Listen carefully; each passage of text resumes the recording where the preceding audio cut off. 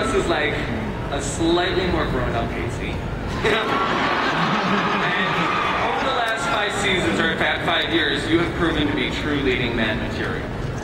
Um, You're chasing the man. what, what have you learned about yourself from playing Peter? Uh, about myself, I don't know. I, I would like to aspire to the nobility that Peter has developed over the course of the five years. I mean, I think the sacrifices that he's made for love and for family are, are uh, on an epic scale. I don't know that I've got that in me quite yet. So I don't know how much I've learned about myself, but I certainly have had, it has been a great joy, particularly with John, to go from being the the son to the father figure back to being the son, and now figuring out how we're going to end this uh, this relationship between these two men. I, I don't know how much I've learned really about anything, but it's been the process has been a pleasure. All right, and Anna, you came to us as most of us as a stranger, and uh, and then boom, you will always be our Olive, always. What would you say the greatest lesson Olivia has taught you?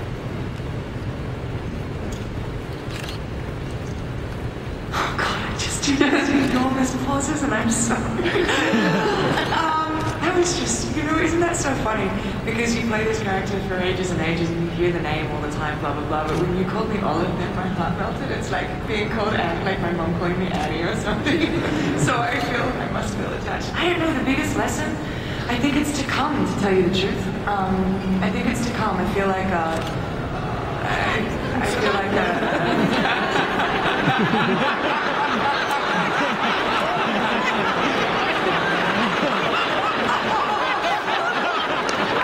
I tell you what, that's what we need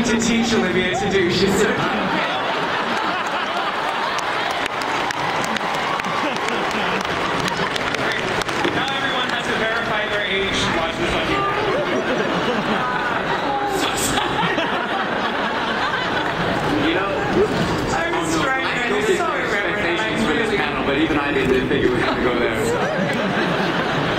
I'm so sorry. No, it's not her fault. You guys. Now, you saw me go like this and you kept doing it. Go on, darling, you tell me. I don't know. Please, let's move on. All right. All right, John. I think we'll How move are on to you Paul going to Scarecrow. follow that? I can't even believe the question. no? All right. I, I, I, like I said, I, I think we'll miss you most of all, Scarecrow. You have uh, stolen our hearts.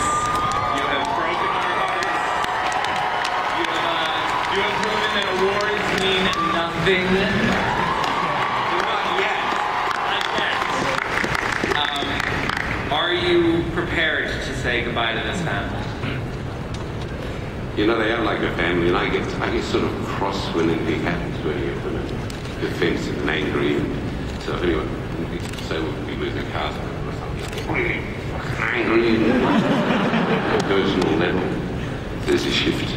Take it all a bit personally, but they have become family, and uh, I don't think you can work with a group of people for five years without developing a strong relationship. And we do, we actually do have, a- have a very, I, I- get, I get the sense that the group of people I work with would have each other's back. Uh, true many, many things. Even though we may, we may disagree on many things at times, and we do, of course. But I just said a real sense of solidarity. I love that, and, uh, and I don't think that'll go away anyway. With it. What's, was that the question, or do you want to ask me what I've learned from Walter? Well, I've learned to come to work every day and enjoy it. to turn up. it's a golden. Yeah, you really got my back, John. yeah, you really got it. Thanks, buddy. Well, I hate about it. And Olive. yeah, see, it's so bad. What, what we've learned, hang on, I'll finish. what we've bit soppy, but what we've learned is about the power of love in this story. And, uh, and the thing that holds Fringe together is the power of love. Because it's bet- between all of the characters, there is developed genuine love. And that's, I, I'm sure that's why the, the, you guys have followed it through. You know, the love between the father and the son, the love between Peter and Olivia, the, the wonderful bonds that have existed between these people have to work together, because that's what we associate with. So through all of the science fiction, all of the great sort of hurdles that we've gone through, it's that, that love factor that's kept us going and, and, and will give us a brilliant final chapter. You can't hear me. Where are you in the car park? All right. So speaking of love, um, Josh and Anna, this couple, we have watched. We have watched these two dance around, flip universes, street body. Yeah. It's your Um, typical boy meets girl, boy crosses universe, girl goes to other universe, boy sleeps with her doppelganger story. Go get straight. How cliche that is. Over and over again. Yeah, exactly. Doppelganger gets pregnant, has baby too fast, baby gets X'd out by interdimensional war, new baby is born, lost to future, finds dad, searching for mom. Story.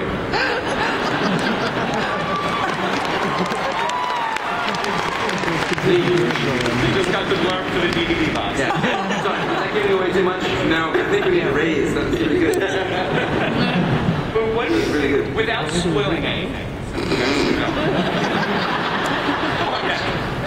Um, do you know at least if these two will get their happily ever after? Are we, well, look. I don't, know. I don't know. Asked you, Mr. Wyman. No, no, you can't give anything away. Turn. This will just stay between us, right?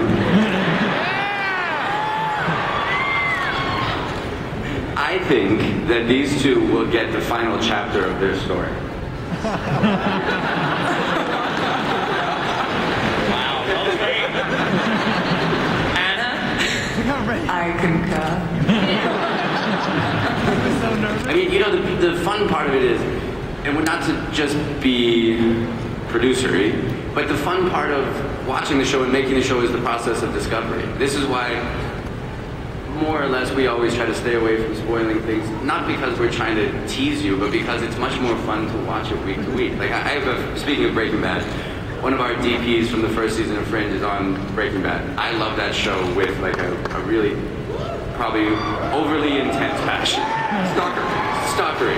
And I refuse to talk to him during the season or email him because I don't want to know because I want to be able to discover it for myself. And so I think that story and all of these stories are coming to some version of a conclusion. And, and frankly, you know, the, the characters don't end when the show ends, but we'll tell our final chapter of the on-air story. And that's what this season will be. It's our last journey together.